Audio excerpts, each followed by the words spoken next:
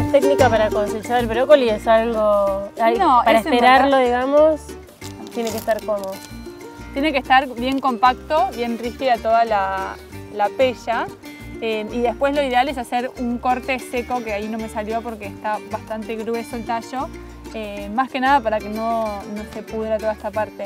Y yo lo que hago, dependiendo de la época del año, es espero que me salgan los brotes axilares de acá, con más brócolis chiquititos, Y los consumís y también. los consumo también, pero siendo 15 de octubre, yo me, me- me imagino que voy a cosechar todo esto eh, y voy a plantar acá ya lo de primavera-verano. ¿Las hojas de brócoli sabés se consumen? Sí. Sí, se consumen. eh, acá mira, te- tengo una remolacha. Que la ¿Cómo te das cuenta que está y no la sacás antes de tiempo? Tenés que fijarte que la raíz tenga un diámetro más o menos de 6 centímetros, una cosa así.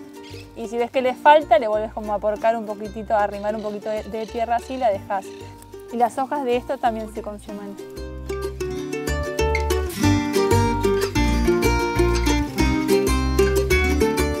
Bueno, y acá estamos con la selga. Sí. Y la selga, o sea, hay dos formas de cosechar, que vas sacando hoja por hoja. Las más grandes, que suelen ser las que están afuera, y si no, si por ahí no tenés tanta paciencia, clavas así la tijera y te llevas todo. Y de acá, en el medio, si te fijas bien, para que sacar esta para mostrar, ahí adentro es como que empiezan a aparecer las hojitas más nuevas de, de la selga. Y acá vuelve a brotar, vos vuelve la a a sí. ¿Cuántas veces en general, ponele, la cosechás, brota? O sea, primero cuando, después de muchos brotes, eh, las hojas se ponen más duras y más amargas. Así que es o cuando no me gusta más, o cuando ya veo de que no, de que no está dando tanta producción, o cuando se va a flor, y si no, cuando quiero sacarlo para poner otra cosa. Pero justo la selga para mí es un cultivo de que es muy fiel, súper rendidor, y es uno de esos cultivos que digo, todos tenemos que tener una planta Una planta. en nuestra casa. ¿Y tratás de eh, hacerlo semillar o...? Eh, no, bueno, justo ahí me están floreciendo, que en esta época, viste, todo tiende a florecer.